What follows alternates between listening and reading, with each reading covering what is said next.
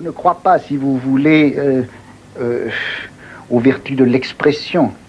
Le langage qui m'intéresse, c'est celui qui est tel qu'il peut détruire, justement, toutes les formes circulaires, closes, narcissiques du sujet et de soi-même.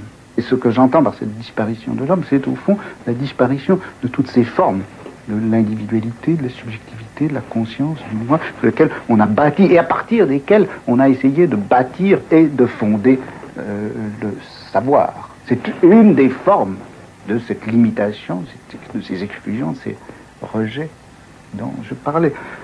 L'Occident a essayé de bâtir, de bâtir la figure de l'homme comme cela. Cette figure, elle est en train de disparaître. Et je ne dis donc pas les choses parce que je les pense.